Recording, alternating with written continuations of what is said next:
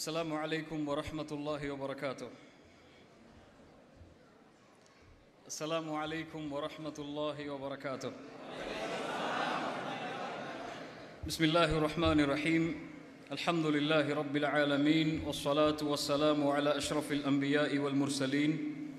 نبينا محمد وعلى آله وأصحابه ومن تبعهم بإحسان إلى يوم الدين. கண்ணியத்துக்குரிய அல்லாஹுவின் அடியார்களே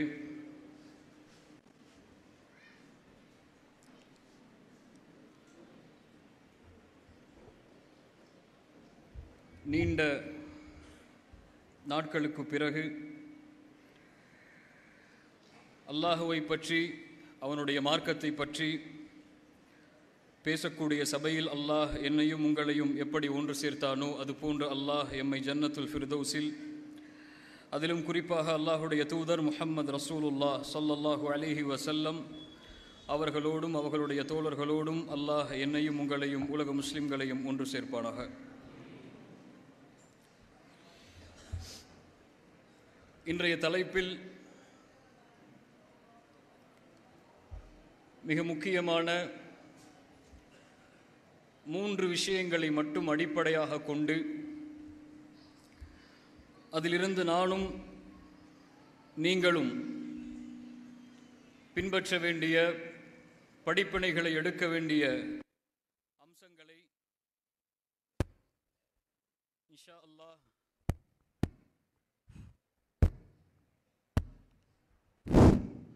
இன்ஷா அல்லாஹ் பார்ப்போம். அல்லாஹ் ரப்புல் ஆலமீன் அவனுக்கென்று ஒரு நியதி இருக்கிறது. இந்த உலகத்தை படைத்த இறைவன் இந்த உலகத்திற்கென்று ஒரு நியதியை வைத்திருக்கிறான் ஒரு அமைப்பை வைத்திருக்கிறான் ஒரு அடிப்படையை வைத்திருக்கிறான். அந்த அடிப்படையிலிருந்து அந்த நியதியிலிருந்து இந்த உலகத்தில் எதுவும் மாறுபட்டு நடக்காது. அல்லாஹ் இந்த உலகத்தை படைத்த இறைவன் சோதனையின் களமாக அமைத்தான். இந்த உலகம் நிம்மதியோடும் சுகத்தோடும் மகிழ்ச்சியோடும் வெறும் அன்பையும் மகிழ்வையும் மட்டும் பெற்று வாழக்கூடிய உலகம் அல்ல அதற்காக அதற்காக அல்லாஹ் இந்த உலகத்தை படைக்கவில்லை. குர்ஆன் சொல்லுகிறது இந்த உலகத்தை படைத்த இறைவன் இந்த படைப்புகளை படைத்த பொழுதே கூறி அனுப்பினான். வல நபுலுவன்னக்கும் இந்த உலக வாழ்க்கையில் உன்னை அனுப்புகிறேன். இந்த உலக வாழ்க்கையில் நான் உன்னை அனுப்புவதன் காரணம் வல நபுலுவன்னக்கும் உன்னை நான் நிச்சயமாக சோதிப்பேன். பிஷை மினல் ஹவுஃபி வல் ஜூ பசியை கொண்டு பயத்தை கொண்டு செல்வத்தை பறித்து உறவுகளை உயிர்களை பறித்து இன்னும் பொருட்களை விளைச்சல் நிலங்களை பறித்து நான் உன்னை சோதித்தே தீருவேன். இந்த நியதியை மறந்து இந்த உலகத்தில் யாரும் வாழ்ந்து விட முடியாது. எல்லோரும் சோதிக்கப்படுவார்கள். அல்லாஹுடைய அந்த அடிப்படை தத்துவத்தில் இருந்து படைத்த இறைவனின் இந்த அடிப்ப அடிப்படை நியதியிலிருந்து யாரும் இந்த உலகத்தில் விதிவிலக்கு ஆக முடியாது. ஒரு மனிதனுடைய வாழ்வில் சோதனை வரலாம். அவனுக்கு சிரமம் ஏற்படலாம். அவனுடைய தனிப்பட்ட வாழ்வில் அவனுடைய குடும்ப வாழ்வில் அவனுடைய வியாபார வாழ்வில் அவனுடைய கதவுகள் அடைக்கப்படலாம். அது அல்லாஹுடைய நாட்டம் அல்லாஹுடைய திட்டம் அது. அவனுடைய மருத்துவ குறியீடுகளில் குறைகள் ஏற்படலாம். அது அல்லாஹுடைய படைத்த இறைவனுடைய திட்டம். இந்த உலகத்திலே ஒரு மனித வாழ்வில் ஏற்படுகின்ற எல்லாம் படைத்த இறைவன் அமைத்த நியதியிலிருந்து மாற்றமானது கிடையாது. குரான் சொல்லுகிறது இன்னா குல்ல எல்லாவற்றையும் அல்லாஹ் ஒரு நியதியோடு தான் படைத்திருக்கிறான். எல்லாம் அல்லாஹுடைய திட்டம். எல்லாம் அல்லாஹுடைய நாட்டம். ஆனால் மனிதனை பொறுத்தவரை நலவுகள் வந்தால் இறைவன் புறத்திலிருந்து வருகிறது என்று எடுத்துக்கொள்வான். தீமைகள் வந்தால் அது வேறு ஏதாவது வழிகளிலிருந்து வருகிறது என்று எண்ணிக்கொள்வான். குர்ஆன் சொல்லுகிறது மனிதனுடைய நிலைமையை ஒரு மனிதனை அல்லாஹ் கண்ணியத்தை கொண்டு அருட்கொடைகளை கொண்டு சோதித்தால் அவன் சொல்லுகிறான் படைத்த இறைவன் என்னை கண்ணியப்படுத்துகிறான் என்று. அதுபோல இறைவன் படை அவன் அவனுக்கு கொடுத்ததிலிருந்து எடுத்து சோதித்தால் அவன் சொல்லுகிறான் படைத்த இறைவன் என்னை இழிவுபடுத்துகிறான் என்று. எல்லா கதவுகளும் அடைக்கப்படலாம். எல்லா வாசல்களும் மூடப்படலாம். எந்த ஒரு தனிப்பட்ட மனிதனுடைய வாழ்விலும் எல்லா நிலைகளும் மாறலாம். தன்னோடு இருக்கக்கூடிய நண்பன் விரோதியாக மாறலாம். தன்னோடு இருக்கக்கூடிய விரோதி நண்பனாக மாறலாம். தன்னுடைய உறவு தன்னை விட்டு பிரியலாம் அல்லது பிரிந்த உறவு தன்னோடு இணையலாம். வியாபாரத்திலே லாபம் பெறலாம் அல்லது நட்டம் பெறலாம். பணத்தால் மோசடி மோசடியில் ஈடுபடுத்தப்படலாம் அல்லது பண மோசடியில் அவனி ஈடுபடுத்தப்படலாம். இப்படி இந்த உலக வாழ்வில் எல்லா நிகழ்வுகளும் மாற்றம் கொண்டு மாற்றம் கொண்டு நடந்து கொண்டே வரும். இது படைத்த இறைவனுடைய இறைவன் அமை- அமைத்த நியதியிலிருந்து எதுவும் மாறுபடாது. ஆனால் இந்த உலக வாழ்வை பொறுத்தவரை இறைவன் அமைக்கின்ற அந்த வரைகோட்டில் எல்லாம் அவனுடைய திட்டத்தின்படிதான். அந்த திட்டம் நடை ந- அந்த திட்டம் நிறைவேறினால்தான் அவனுடைய வாழ்க்கையின் கணக்கு முடிக்கப்படும். இறைவன் தொடங்கிய வாழ்வின் கணக்கும் இறைவன் நமக்கு அவனுக்கு அமைத்த முடிவின் கண- கணக்கும் எப்படி வேண்டுமானாலும் மாறி மாறி வரைகோட்டில் மேலும் கீழும் இறங்கலாம். ஆனால் முடியும் நேரத்தை இறைவன் நாடிய நேரத்தில் அந்த முடிவு எல்லாம் அமை முடிந்துவிடும். நபிமார்களுடைய வரலாற்றை பாருங்கள். படைத்த இறைவனால் அனுப்பப்பட்ட இறை தூதர்கள் அவர்களுடைய வாழ்வில் அவர்கள் சோதிக்கப்படவில்லையா? அவர்களுடைய வாழ்வில் அவர்களுடைய வெற்றியின் இலக்கை அடை அடைய வேண்டும் என்றால் எல்லா நபிமார்களையும் இறைவன் சோதித்தே தன் சோதித்தே தன்னுடைய நீதிகளை அமைத்திருந்தான். நபி நூ அலிஹி சலாத்து வசலாம் தொள்ளாயிரத்தி ஐம்பது ஆண்டு காலம் இறை அழைப்பு பணியை படைத்த இறைவனை மட்டுமே வணங்க வேண்டும். அவனுடைய கட்டளைகளுக்கு மட்டுமே கட்டுப்பட வேண்டும். அவனுக்கு மாற்றமாக எதையும் இந்த பூமியில் செய்துவிடக் கூடாது என்று தொள்ளாயிரத்தி ஐம்பது ஆண்டு காலம் அவர்கள் சிரமப்பட்டார்கள் கஷ்டப்பட்டார்கள் பழிச்சொல்லுக்கு ஆளானார்கள்.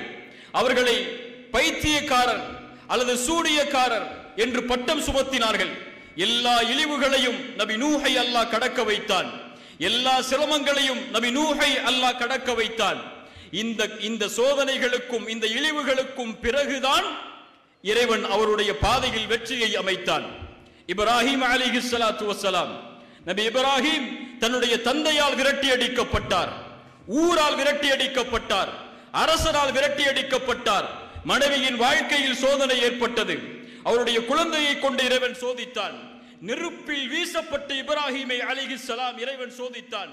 இந்த எல்லா சோதனைகளை கடந்ததற்கு பிறகுதான் இப்ராஹிம் அலிஹி சலாம் அவர்களுடைய பின்பற்றுதலுக்குரிய சமூகம் அங்கே உருவானது.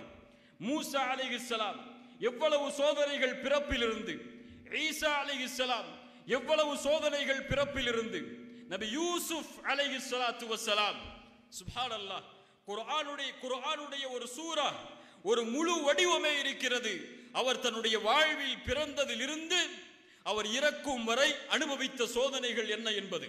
யூசுப் அலைஹிஸ்ஸலாத்து வஸ்ஸலாம் ஒரு நபியின் குழந்தை சோதிக்கப்படுகிறார். நாமெல்லாம் யார் அப்படி என்றால் நாமெல்லாம் ஒரு சாதாரண மனிதர்களின் குழந்தைகள். மனிதர்களில் புனிதர்களாக தேர்ந்தெடுக்கப்பட்ட ஒரு நபியின் குழந்தையை சிறு வயதிலேயே இறைவன் சோதிக்கிறான்.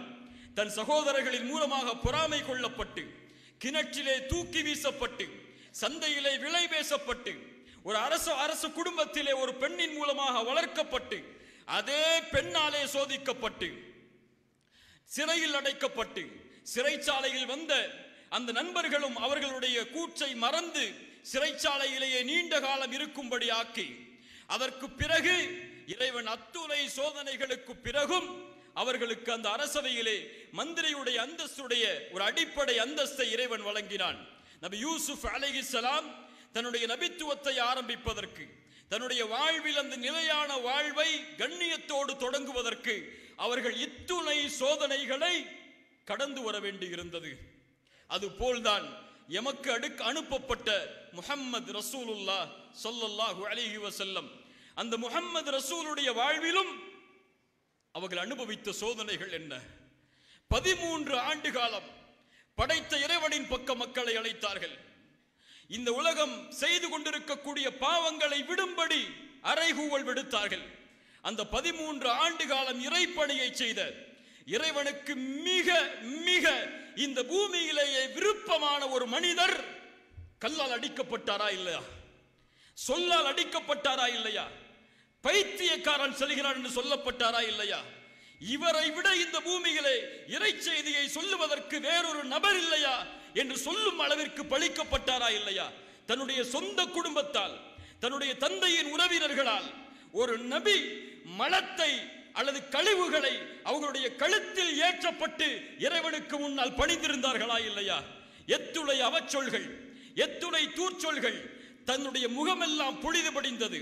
இரத்தமாக மாறியது தாயிஃபுடைய நகரத்தில். பதிமூன்று ஆண்டுகால சோதனை. பத்து ஆண்டு காலம் மதினாவில் உள்ளே நுழைந்ததிலிருந்து மதினாவில் இருந்து மக்காவுடைய வெற்றிக்கு வரும் வரை அந்த நபி இழந்த இழப்புகள் என்ன?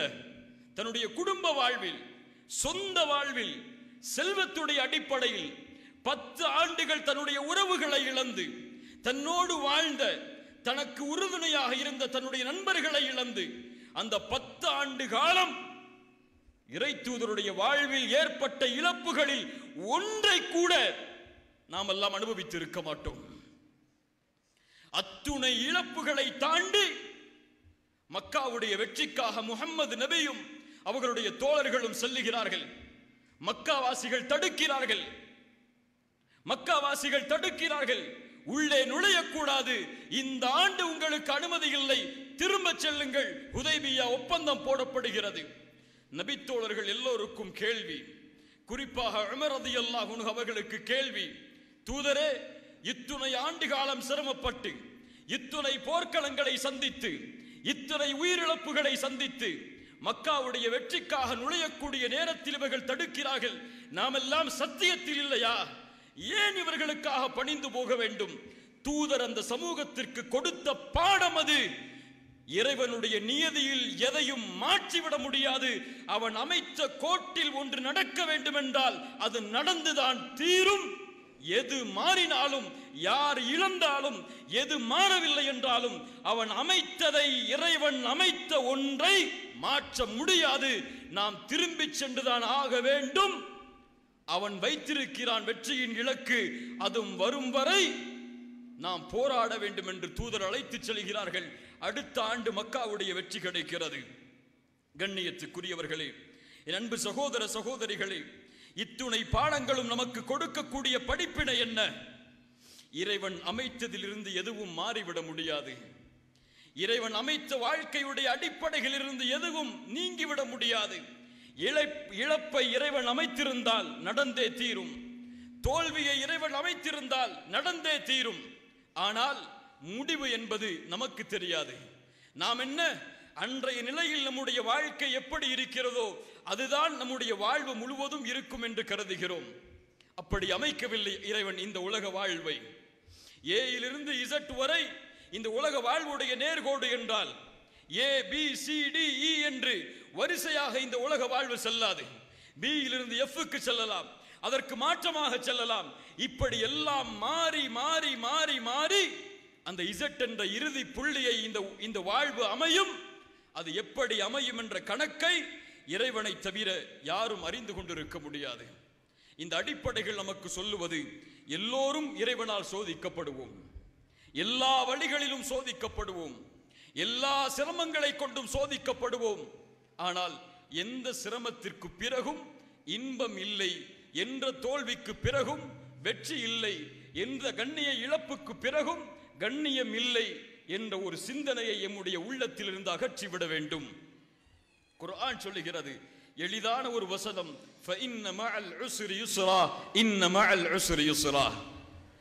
இன்பத்தோடு சோதனையோடு தோல்வியோடு இன்பம் என்பதும் சேர்ந்திருக்கும்.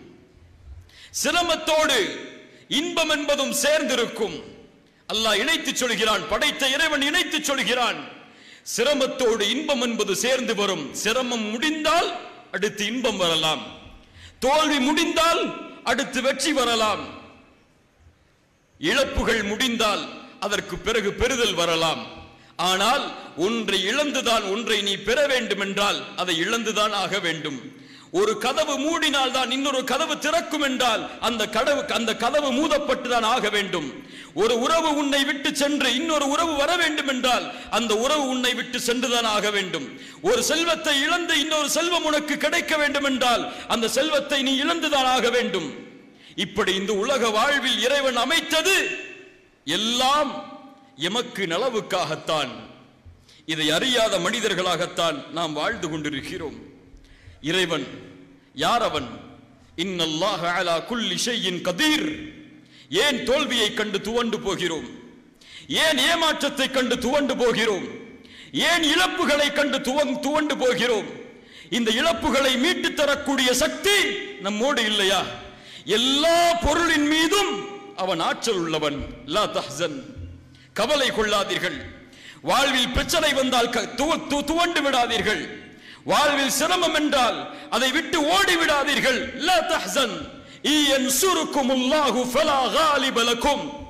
படைத்த இறைவன் உங்களுக்கு உதவி செய்த வந்தால் உலகம் உங்களை எதிர்க்கலாம். இந்த உலகம் உங்களுடைய வாழ்வை முடிக்க நினைக்கலாம். உங்களை அழிப்பதற்கான எல்லா சதிகளையும் செய்யலாம். ஆனால் படைத்த இறைவன் நினைத்து விட்டால் அவன் நாடி விட்டால் அவன் முடிவு செய்து விட்டால் அதை எவராலும் மிகைக்க முடியாது. ஆனால் படைத்த இறைவன் உங்களை விட்டு நீங்கி விட்டால் அவன் உங்களை புறக்கணித்து விட்டால் எப்போது புறக்கணிப்பான்? எப்போது நீங்குவான்? அப்படி புறக்கணித்து அவன் நீங்கிவிட்டால் அவனை தவிர வேறு யாரும் உங்களுக்கு உதவி செய்ய முடியாது. லா தஹசன். கவலை கொள்ளாதீர்கள். இன்னல்லாக மகனா அல்லாஹ் எம்மோடு இருக்கிறான். சொல்லுங்கள் இந்த வார்த்தையை. கவலை கொள்ளாது. அல்லாஹ் எம்மோடு இருக்கிறான். முஹம்மது ரசூலுல்லா சொன்னார்கள் அபூபக்கரை பார்த்து லா தஹ்சன் யா அபூபக்கர். அபூபக்கரை கவலை கொள்ளாது. அல்லாஹ் எம்மோடு இருக்கிறான். படைத்த இறைவன் எம்மோடு இருக்கிறான். மூசா அலிகிஸ்லாம் தன்னுடைய சமூகம் சொன்னது மூசாவை எங்களை கைவிட்டு விட்டீர்கள். கல்லா அப்படி அல்ல. இன்ன ரப்பி. படைத்த இறைவன் என்னோடு இருக்கிறான். அவன் எனக்கு வழிகாட்டுவான் கடல் பிளக்கப்பட்டது. குகை மூடப்பட்டது. அந்த நபிமார்கள் பாதுகாக்கப்பட்டார்கள். அது போல்தான் இந்த வார்த்தையை உள்ளத்திலே சொல்லுங்கள். இறைவன் என்னோடு இருக்கிறான். அவன் என்னோடு இருக்கும் போது எதுவும் எனக்கு இழப்பில்லை. அவனை இழந்து விட்டால் எதுவும் எனக்கு செல்வம் இல்லை அவன் என்னோடு இருக்கிறான். நோயா லா தஹ்சன். கவலை கொள்ளாதே அல்லாஹ் உன்னோடு இருக்கிறான்.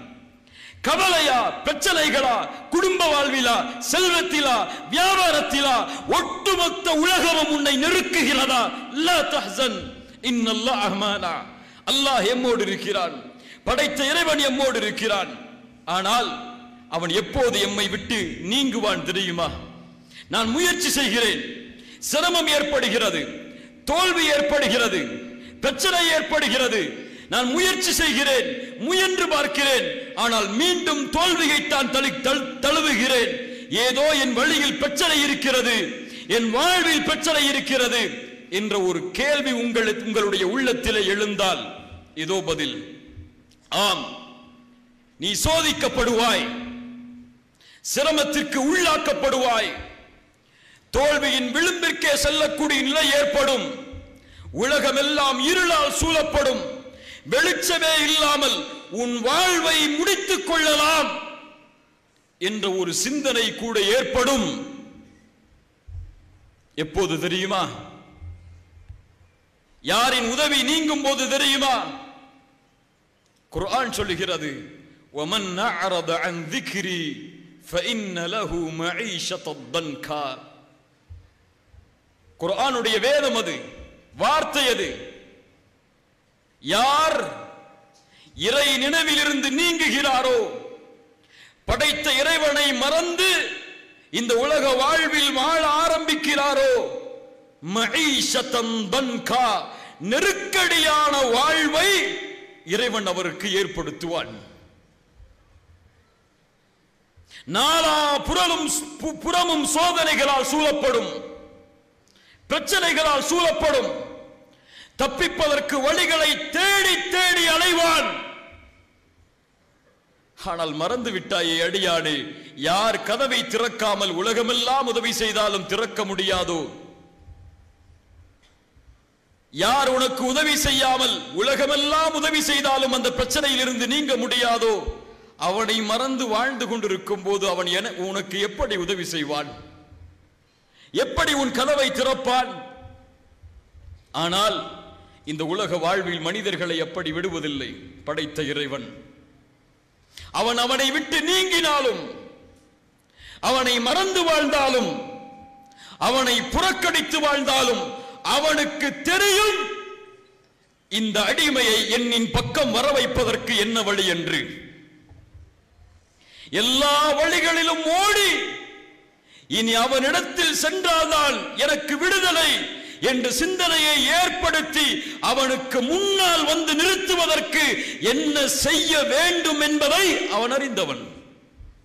குரான் சொல்லுகிறது படைத்த இறைவன் சொல்லுகிறான் அவர்களை வேதனையை கொண்டு சூழ்வோம்.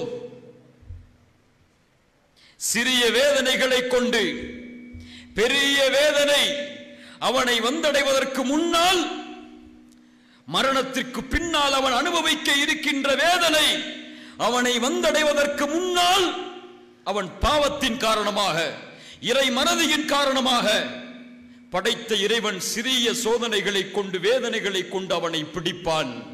ஏன் பிடிக்கிறான்? அவன் என்னின் பக்கம் திரும்பி வர வேண்டும் என்பதற்காக. இந்த பூமியிலும் கடலிலும் குழப்பங்கள் பரவுகிறது. ஏன்? அவர்களுடைய கரங்கள் சம்பாதித்த பாவத்தால். மனிதா நீ சோதிக்கப்படுகிறாய் என்றால் செல்வத்தால் குடும்ப வாழ்வால் நோயால் அல்லது வேறு இந்த உலகத்திலே வரக்கூடிய எல்லா வழிகளாலும் நீ சோதிக்கப்படுகிறாய் என்றால் நீ முதலாவது நினைக்க வேண்டிய ஒன்று நான் சோதிக்கப்படுகிறேன். அதனுடைய காரணம் என்னை படைத்த இறைவனை மறந்து வாழ்வதாகத்தான் இருக்குமோ என்பதுதான். எனக்கு படிப்பில்லை நான் சோதிக்கப்படுகிறேன். திறமை இல்லை சோதிக்கப்படுகிறேன் என்று கிடையாது இந்த உலக வாழ்வில். படைத்த இறைவனுடைய மறதி சோதனையுடைய அடிப்படை காரணம்.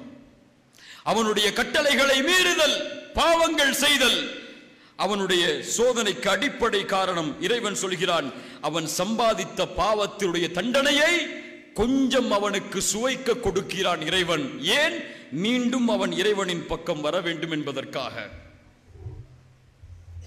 திரும்பி வந்து அவனுக்கு முன்னால் பணிந்தால் அந்த சோதனையில் இருந்து விளக்குவதற்கு அவன் வழிகளை ஏற்படுத்துவான். ஏன்? அவன் நாடினால் இந்த உலகத்தில் உள்ள எல்லா சங்கடிகளும் அறுபட்டு போகும். எல்லா சூழ்ச்சிகளும் மறைந்து போகும். அதைத்தான் அத்துணை நபிமார்களுடைய வாழ்வும் நமக்கு பாடமாக கொடுக்கிறது. அப்படி ஒரு வேலை அந்த அடியான் சோதனையை உணர்ந்து பாவத்தை உணர்ந்து படைத்த இறைவனுக்கு முன்னால் வந்து விட்டால் அவன் அவனை இறைவன் அணைத்துக் கொள்வதை போன்று இந்த உலகத்தில் யாரும் அணைத்துக் கொள்ள முடியாது. நீ நடந்து வா நான் ஓடி வருகிறேன். நீ நடந்து வா. என்னின் பக்கம் வா. இறைவா நான் சோதிக்கப்படுகிறேன் விடுதலையை கொடு. நான் உன்னை நோக்கி வருகிறேன். முகம்மது ரசூலுல்லாஹ் சொன்னார்கள் ஸல்லல்லாஹு அலிஹி வசல்லம் ஒரு அடியான் படைத்த இறைவனின் பக்கம் திரும்பி வரும்போது படைத்த இறைவன் எல்லையற்ற மகிழ்ச்சி அடைகிறான். ஆம் கண்ணியத்துக்குரியவர்களே பாவங்கள் படைத்த இறைவனை விட்டு நம்மை தூரமாக்குகிறது. குற்றங்கள் படைத்த இறைவனை விட்டு நம்மை தூரமாக்குகிறது. அதிலிருந்து மீண்டு அவன் வரும்போது படைத்த இறைவன் மகிழ்ச்சி அடைகிறான். எப்படி தெரியுமா? தூதர் ஒரு அழகிய உதாரணத்தை சொன்னார்கள். ஒருவன் பாலைவனத்திலே தன்னுடைய வாகனத்தோடும் உணவோடும் பயணம் செய்கிறான். களைப்பில் அந்த வாகனத்தை நிறுத்தி கொஞ்சம் உறங்குகிறான். விழித்து பார்க்கிறான் அவனுடைய வாகனமும் இல்லை அவனுடைய உணவும் இல்லை. பாலைவனத்தில் எங்கே செல்வதென்று தப்பிக்க முடியாமல் அங்கும் இங்கும் ஓடுகிறான். அவ்வளவுதான் என்னுடைய வாழ்நாள் முடிந்து விட்டது என்று மறுபடியும் மயக்கமடைகிறான். மறுபடியும் எழுந்து பார்க்கிறான். அவனுக்கு முன்னால் உணவும் அவனுக்கு முன்னால் அவனுடைய வாகனமும் இருக்கிறது. ஆகா போன உயிர் கிடைத்து விட்டதே என்ற மகிழ்ச்சியில் படைத்த இறைவனை பார்த்து சொல்லுகிறான் இறைவா நீ என் அடிமை நானும் இறைவன் என்று. நபி சொன்னார்கள் அவன் உண்மையில் அதை சொல்லவில்லை. அவன் மகிழ்ச்சியின் ஆனந்தத்தில் சென்று என்ன வார்த்தை பேசுகிறோம் படைத்த இறைவனுக்கு முன்னால் என்று அறியாமல் அவன் பேசிவிடுகிறான். இவன் எப்படி தொலைத்த உணவும் தொலைத்த வாகனமும் கிடைத்தால் மகிழ்ச்சி அடைகிறானோ அது போன்று தன்னை விட்டு நீங்கி பாவத்தில் சென்ற அடியான் தன்னை நோக்கி உன்- தன் பாவத்தை உணர்ந்து தன்னை நோக்கி வரும்போது படைத்த இறைவன் இவன் அடையக்கூடிய அந்த தொலைத்த உணவையும் வாகனத்தையும் பெறக்கூடியவன் அடையக்கூடிய மகிழ்ச்சியை விட மகிழ்ச்சி அடைகிறான். இதோ இருக்கிறது நம்முடைய பிரச்சனைகளின் தீர்வு. இதோ இருக்கிறது எம்முடைய சோதனைகளின் தீர்வு. இதோ இருக்கிறது எம்முடைய சூழ்ச்சிகளின் தீர்வு. இதோ இருக்கிறது எம்முடைய இழப்புகளின் தீர்வு. இதை ஒருவன் பெற்றுவிட்டால் அவனுக்கு பிறகு எது இழந்தாலும் இழப்பாக அவன் கருத மாட்டான். ஆனால் ஒருவன் இந்த தீர்வை இழந்து விட்டால் படைத்த இறைவனை விட்டு நீங்கி சோதிக்கப்பட்டதற்கு பிறகும் அவனுக்கு முன்னால் பணியவில்லை என்றால் அவன் அவகாசத்தை நீட்டிக்கொண்டே போவான் வாழ்வு முடியும் வரை. அந்த அவகாசம் முடிந்து விட்டால் அவ்வளவுதான். அதற்கு பிறகு அவனுக்கு வரக்கூடிய சோதனையை யாரும் நீக்க முடியாது. பாவங்கள் சோதனைகளின் அடிப்படை பிரச்சனைகளின் அடிப்படை வாழ்வில் ஏற்படக்கூடிய சிரமங்களின் அடிப்படை. இதை உணர்ந்து ஒருவன் விலகி இறைவனின் பக்கம் சென்றால் அவன் செல்லுவதற்கு முன்னால் இறைவன் அவனின் பக்கம் நெருங்குவதற்கு காத்து கொண்டிருக்கிறான்.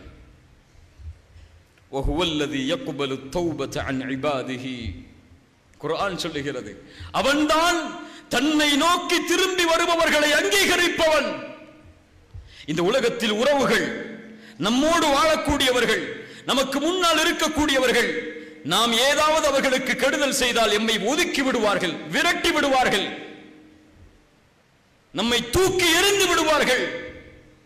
நீ எவ்வளவு மாறு செய்தாலும் எவ்வளவு அவனை விட்டு தூரமானாலும் பாவத்தின் எல்லைக்கே சென்றாலும் இறைவா திரும்பி வருகிறேன் என்று சொன்னால் போதும் உன்னை அங்கீகரிக்கிறான் அவன். அவனுடைய அன்பிலிருந்து அருளிலிருந்து நிராசை அடைந்து விடாதே. ஷைத்தானுக்கு எது மிக பிடித்தமானது தெரியுமா? பாவத்தை ஒரு மனிதன் செய்வதை விட பாவத்தில் ஒரு மனிதன் மூழ்குவதை விட ஷைத்தானுக்கு மிக விருப்பமானது படைத்த இறைவனுடைய அன்பிலிருந்து தூரமாகுவது அவனுடைய நம்பிக்கையிலிருந்து நம்பிக்கை இழப்பது.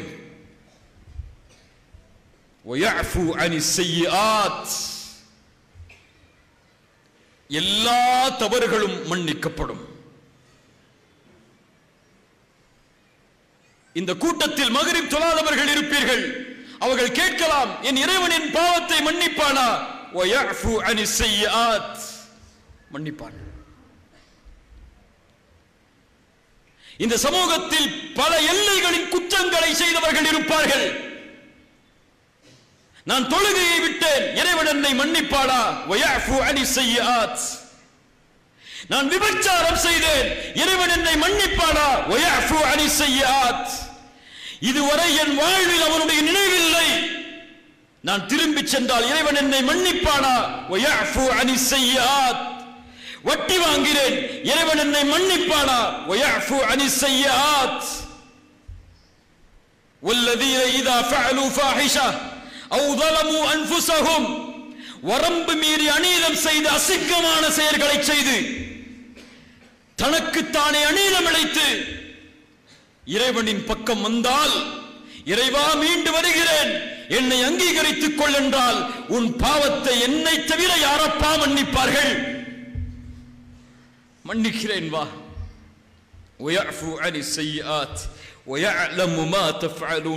அது மட்டுமல்ல இல்லாமன் தாப நீ பாவ மன்னிப்பை செய்து நல்ல அமல்களை செய்தால் அதற்கு பிறகு என்ன செய்வேன் தெரியுமா? என்ன செய்வேன் தெரியுமா?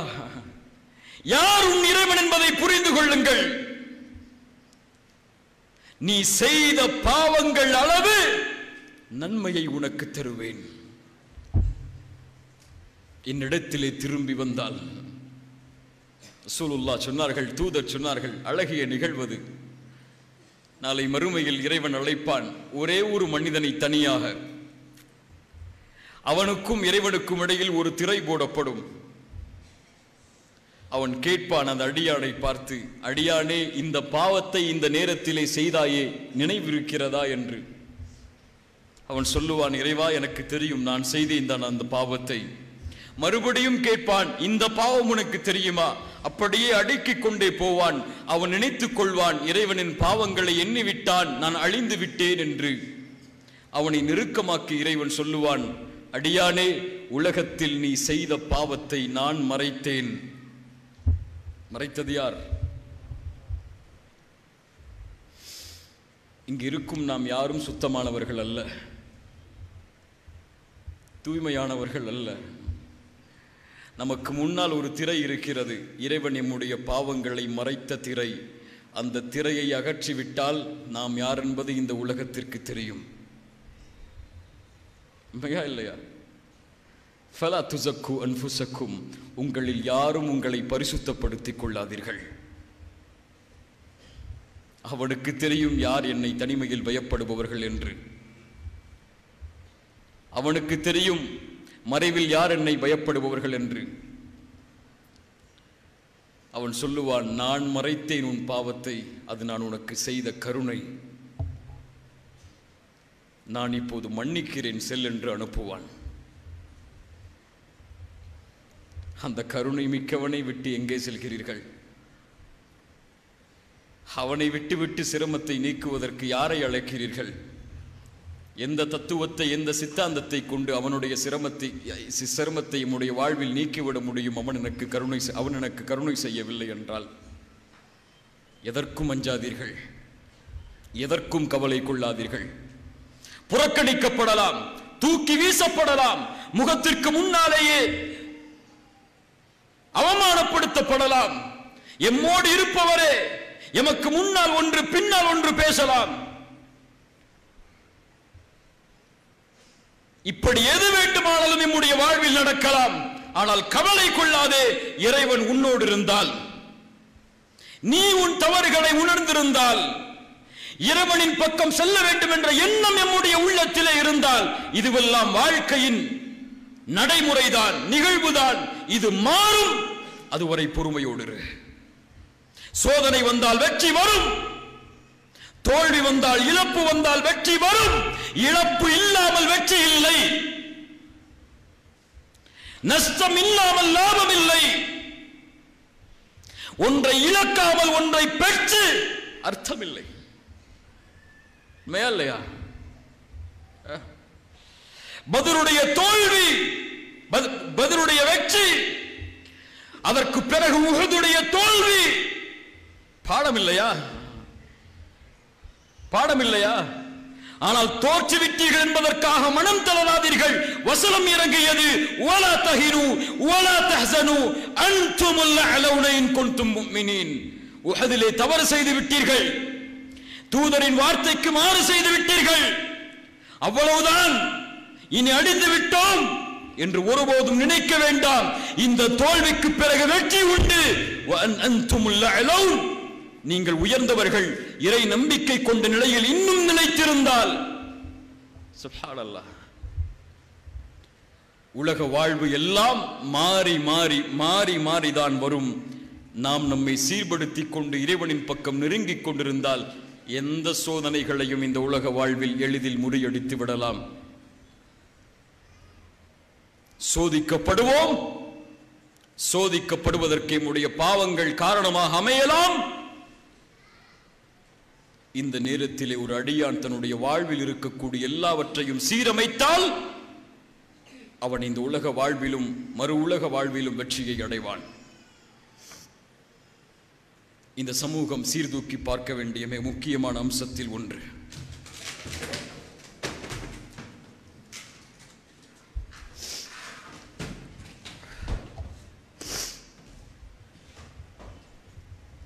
நாம் சோதிக்கப்படுவதற்குரிய முக்கியமான காரணத்தில் ஒன்று. மீண்டு வர வேண்டிய அம்சத்தில் மிக முக்கியமான அம்சத்தில் ஒன்று. பாவங்களின் எல்லையில் எல்லை அது சாதாரண அம்சமாக எம்முடைய நாவுகள் செய்யக்கூடிய மிகப்பெரிய குற்றம் அநீதி அது கவனத்தோடு கேளுங்கள். இறைவன் எம்மை இதிலிருந்து சீர்படுத்துவானாக. ولا يغتب بعضكم بعضا أيحب أحدكم أيأكل لحم أخيه ميتا ஒருவர் ஒருவரை பற்றி புறம் பேசாதே உன் சகோதரனின் மாமிசத்தை அறுத்து சாப்பிட விரும்புவாயா வெறுக்க மாட்டாய் எவ்வளவு கடுமையோடு இறைவன் பேசுகிறான் பாருங்கள். வெறுக்க மாட்டாய். அப்படி இருக்கும்போது உன் சகோதரனை பற்றி ஏன் புறம் பேசுகிறாய்? புறம் என்றால் என்ன? முகம்மது நபி இடத்திலே கேட்கப்பட்டது புறம் என்றால் என்ன?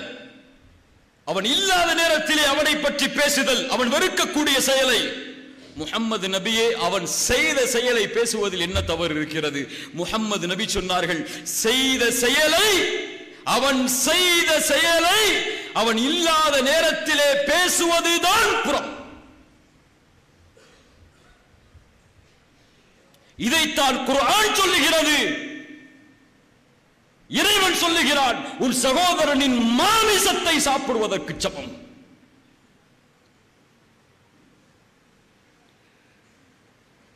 இந்த உலகத்திலே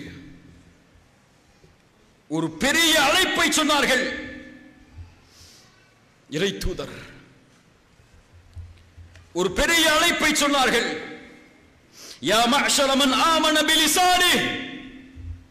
யாரை அழைக்கிறது தெரியுமா இந்த அழைப்பு?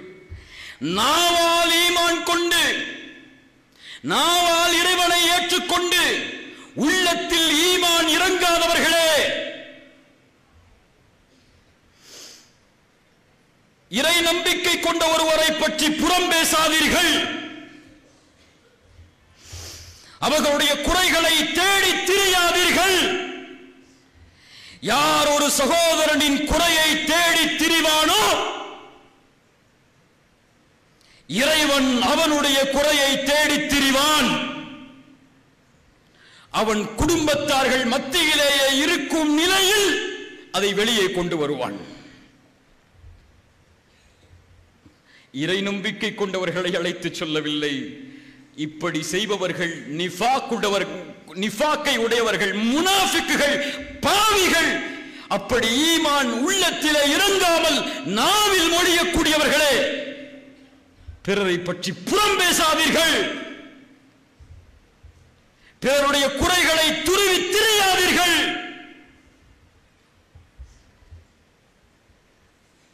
உங்களுடைய நாவால் பிறருடைய மானம் கீழே விழுவதற்கு அனுமதித்து விடாதீர்கள். ஒன்றை சொல்லவா? காபா புனிதமானதா இல்லையா? புனிதமானதா இல்லையா? காபாவை ஒருவர் சேதப்படுத்துவதை எப்படி பார்ப்போம்? எப்படி பார்ப்போம்? எப்படி பார்ப்போம்? உயிரை இழந்தாவது அதை பாதுகாப்போம். ரசூலுல்லா முஹம்மது நபி ஒரு முறை தவாப் செய்யும் போது காபாவை பார்த்து சொன்னார்கள் நீ சுத்தமானவள். உன் நறுமணம் எவ்வளவு உயர்வானது?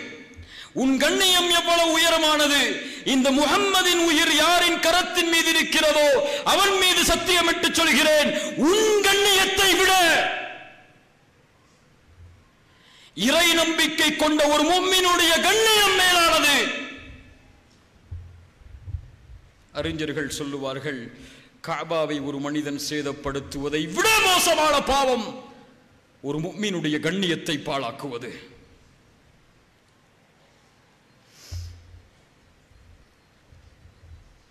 கொஞ்சம் இணையதளங்களை திறந்து பாருங்கள். இந்த சமூகத்தின் அவல நிலைகளை எங்கு பார்த்தாலும் யாரை பார்த்தாலும் தன்னை சீர்படுத்தாதவர்கள் பிறரை சீர்படுத்த வேண்டும் என்பதற்காக பிறருடைய மானங்களை எல்லா வடிவிலும் வீணாக்கக்கூடியவர்கள். இந்த சமூகம் ஒரு கட்டுக்கோட்பான சமூகம்.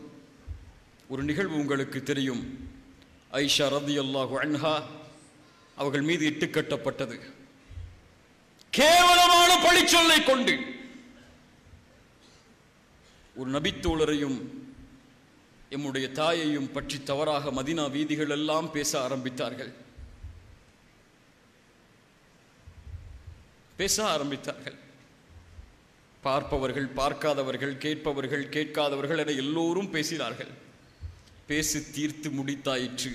வசனம் இறங்குகிறது. சொல்லுகிறான் இறைவன் நீங்கள் அப்படிப்பட்ட செய்தியை கேள்விப்பட்ட போது நல்லா கேளுங்க. இறை நம்பிக்கை கொண்ட ஆண்களும் பெண்களும் சொல்லி இருக்க வேண்டாமா? நினைத்திருக்க வேண்டாமா? தங்களுக்கு தாங்களே நலவை. தங்களுக்கு தாங்களே?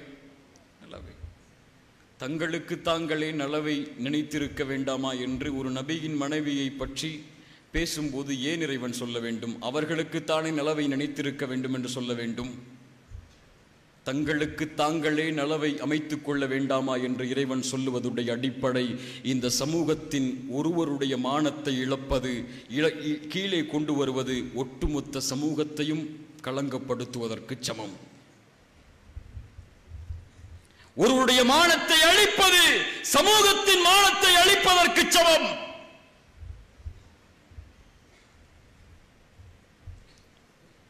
இன்னைக்கு எதிரிகள் வெளியில் இல்லை. எதிரிகள் வெளியில் எல்லாம் இல்லை. எம்மை அழிப்பதற்கு எதிரிகள் தேவையில்லை. நாமே நம்முடைய கரங்களே போதும். இவரை பற்றி அவர் அவரை பற்றி இவர் அவர் அந்த இயக்கத்தை பற்றி இந்த இயக்கம் இந்த இயக்கத்தை பற்றி இந்த இயக்கம். இவர்களுடைய மானத்தை பற்றி அவர்கள் பேசுவார்கள் அவர்களுடைய மானத்தை பற்றி இவர்கள் பேசுவார்கள். இப்படி பேசி பேசி பேசி பேசி சமூகத்தை தலகுனிய வைக்க எல்லோரும் தயார். இல்ல மஷா அல்லாஹ் அல்லாஹ் பாதுகாத்தவர்களை தவிர. ஒரு மூத்த பத்திரிகையாளரை சந்திக்கும் போது அவர் சொன்னார் உங்கள் சமூகத்துடைய இழிவு என்ன தெரியுமா?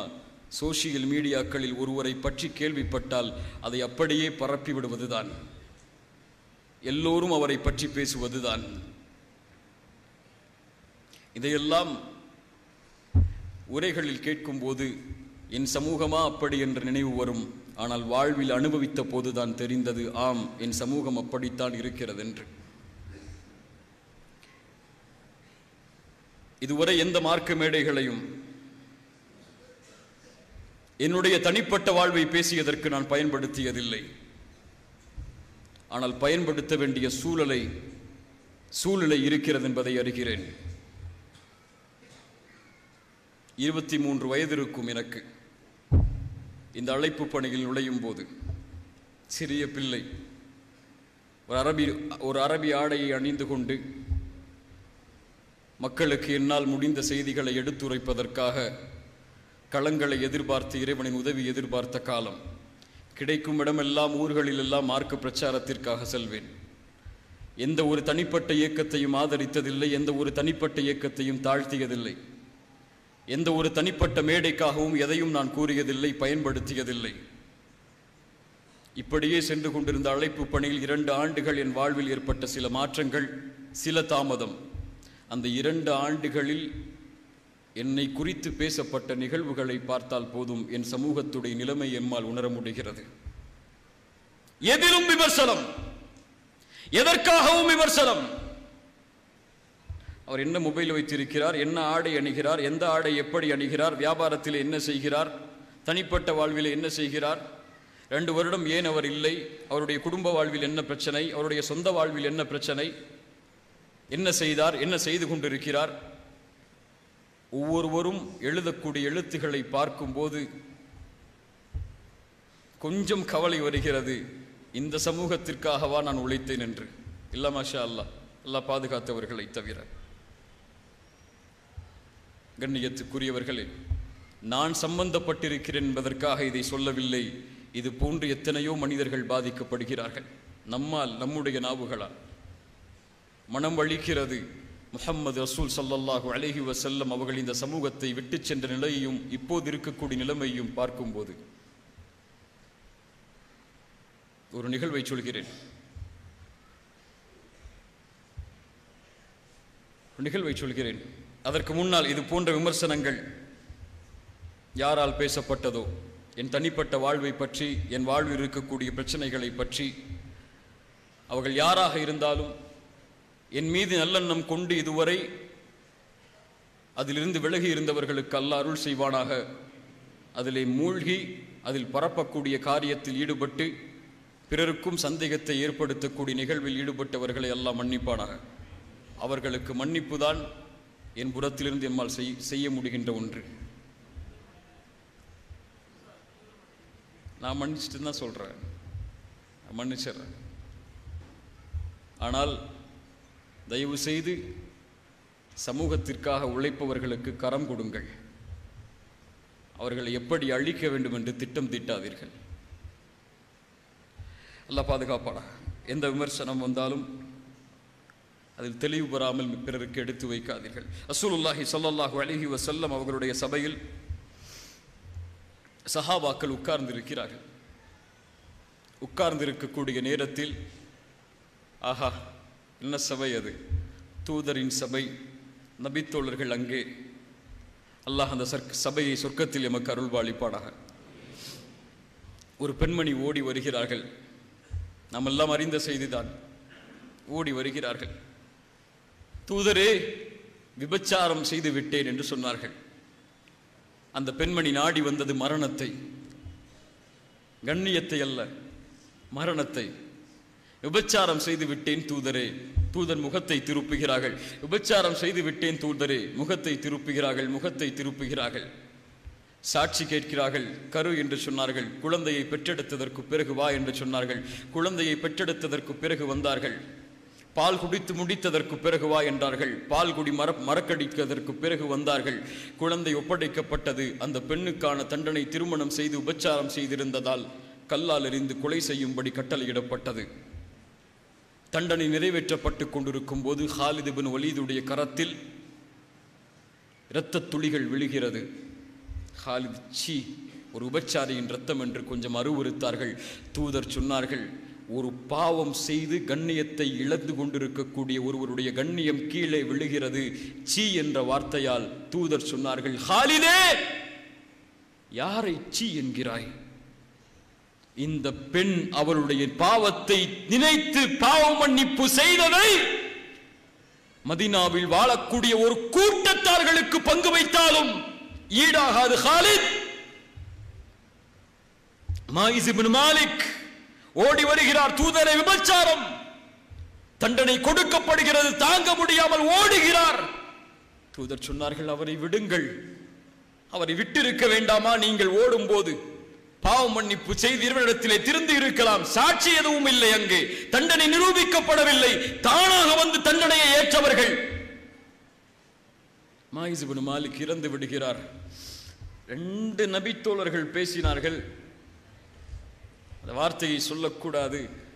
அது அடிபட்டு கிடப்பதை போன்று இந்த பாவத்தை செய்து அடிபட்டு கிடக்கிறாரே என்று.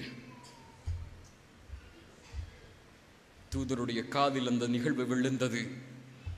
ஒரு முக்மினின் குறை வெளிப்படுத்தப்பட்டு தண்டனை கொடுக்கப்பட்டு அவனுடைய கண்ணியம் இரண்டு பேரால் கீழே விழுகிறது என்பதை அறிந்த தூதர் நடந்து சென்றார்கள். செல்லக்கூடிய வழியில் ஒரு இறந்- இறந்து அழுகிப் போன கழுதை கிடந்தது. அந்த இருவரையும் அழைத்து சொன்னார்கள் இறங்கி அந்த கழுதையை சாப்பிடுங்கள் என்று. நீங்கள் அந்த தோழரை பற்றி பேசியதை விட! இந்த செயல் மிக விருப்பமானது என்று சொன்னார்கள். கண்ணியத்துக்குரியவர்கள் நம் சமூகத்தை பாதுகாக்க வேண்டிய நிலைமை இது ஒற்றுமையோடு இருந்து ஒருங்கிணைந்து எம்முடைய குரல்களை உயர்த்த வேண்டிய நேரம் இது. இதில் நாமே நம்முடைய அழிவிற்கு காரணமாகிவிடக்கூடாது. நம்மை யார் என்பதை நிரூபிப்பதற்கு நம்மிடத்திலே இருக்கக்கூடிய ஆயுதம் நம்முடைய குணம். நம் குணம். அதை தவிர வேறு எந்த ஆயுதமும் எந்த முஸ்லிமுடைய கரத்திலும் கொடுக்கப்படவில்லை. அழைப்பு பணிக்காக. நீ யார் என்பதை சொல்வது உன் தாடி மட்டுமல்ல.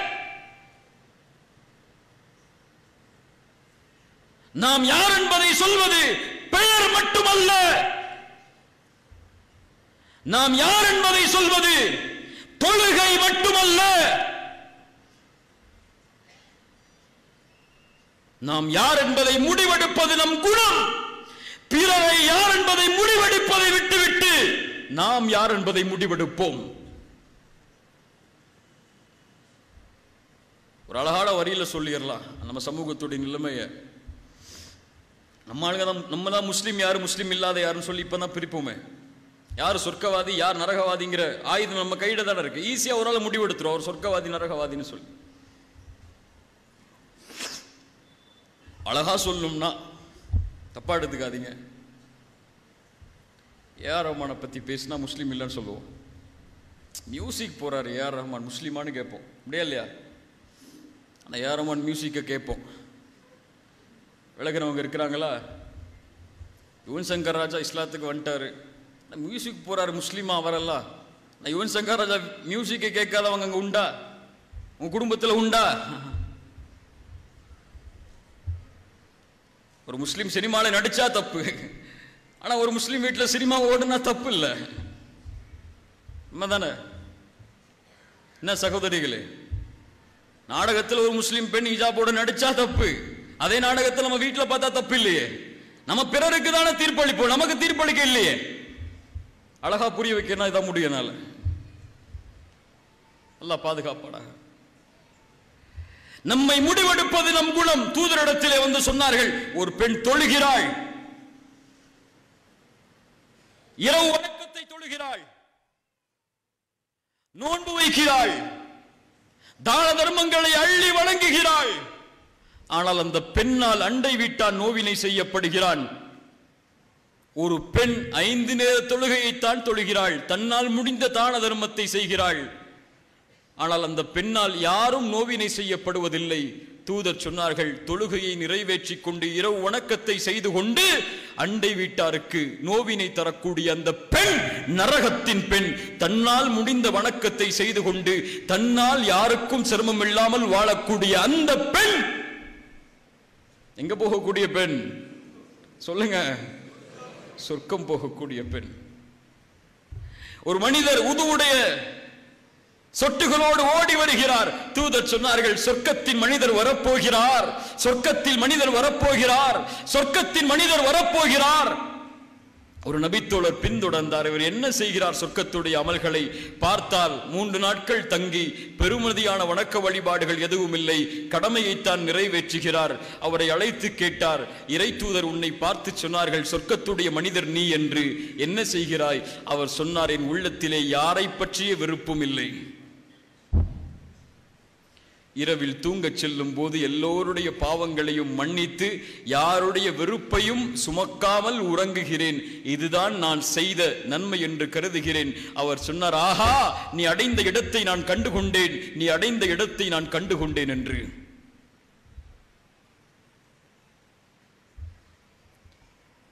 மாறுவோம் கண்ணியத்துக்குரியவர்களே. நம்மை நாம் முடிவெடுப்போம். பிறரை முடிவெடுப்பதற்கு முன்னால் நம்மை நாம் சீர்படுத்துவோம். நம்மை நாம் கேட்டுக்கொள்வோம். நம்மை தயார்படுத்துவோம். பிறரை பற்றி பேசுவதற்கு முன்னால்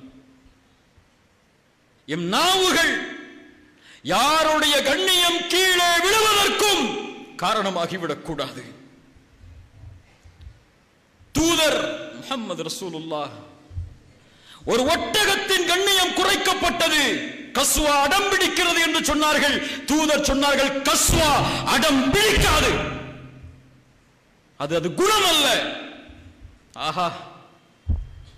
ஒரு விலங்கினத்தின் கண்ணியம் கீழே விடப்பட்டால் கூட அதை நிலைநிறுத்திய தூதருடைய வம்சத்தில் அதை பின்பற்றக்கூடிய நாம் நம்மோடு வாழக்கூடிய ஒரு சக மனிதன் ஒரு முஸ்லிமுடைய ஒரு முக்மீனுடைய கண்ணியத்தை பாழாக்குவதில் ஏன் ஈடுபடுகிறோம்?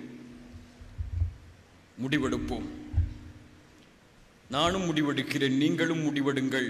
இந்த உரை காதிலே கேட்டோம் நன்றாக இருந்தது என்று புகழ்ந்து செல்வதற்காக அல்ல இறை செய்திகளை கேட்டோம். சொல்லுங்கள்.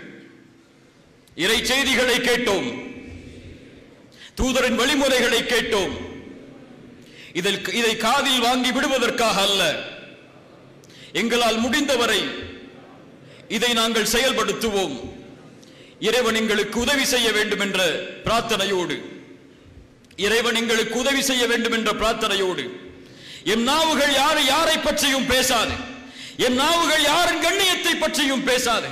யாராவது தவறு செய்வதாக தெரிந்தால் அவரை தனிமைகளை அழைத்து தூ- தோ- தோ- தோழரே தவறு செய்கிறாய் திருத்திக்கொள். இறைவன் பார்க்கிறான் அஞ்சிக்கொள் என்று சொல்லுவோமே தவிர இவர் தவறு செய்கிறார் தவறு செய்கிறார் தவறு செய்கிறார் என்று அவருடைய மானத்தை பங்கப்படுத்த மாட்டோம்.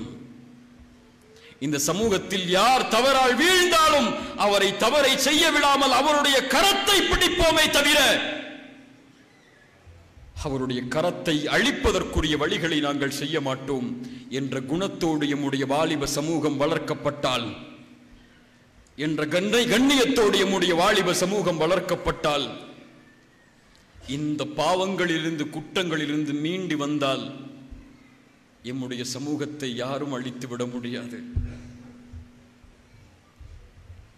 நம்மை அழிப்பதற்கு எம்முடைய எதிரிகள் நமக்கு தரக்கூடிய ஆயுதம் நம்மின் உள்ளே இருக்கக்கூடிய பிரிவுகளின் பிரச்சனைகள் தான் தலைவர்களின் பிரச்சனை இயக்கங்களின் பிரச்சனை தெருக்களின் பிரச்சனை ஜமாத்துகளின் பிரச்சனை ஜனாசாக்களின் பிரச்சனை ஊர்களின் பிரச்சனை திருமண பிரச்சனை தலாக்குகளின் பிரச்சனை என்று பிரச்சனைகளை பரப்பியிருக்கக்கூடிய இந்த சமூகம் தன்னோடு இருக்கக்கூடிய சகோதரத்துவத்தை நிலைநாட்டி நாங்கள் எந்த ஜமாஅத்தில் எந்த இயக்கத்தில் எந்த கொள்கையில் இருந்தாலும் லா இலாஹ இல்லல்லா முஹம்மது ரசூலுல்லா என்ற ஓரிரை கொள்கை எங்களை ஒருங்கிணைக்கும் எல்லா கருத்து வேற்றுமைகளையும் மறந்தென்ற எண்ணத்தில் வாழ்ந்தால் எம்மை அழிப்பதற்கு எந்த சக்தியாலும் முடியாது. அல்லாஹ் ரப்புல் ஆலமீன் படைத்த இறைவன் அப்படிப்பட்ட நிகழ்வை எம்முடைய வாழ்விற்கு பாடமாக அல்ல அமைத்து தருவானாக.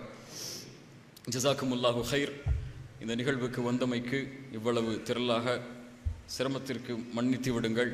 இடவசதி போதுமான அளவு அமைக்கப்படவில்லை.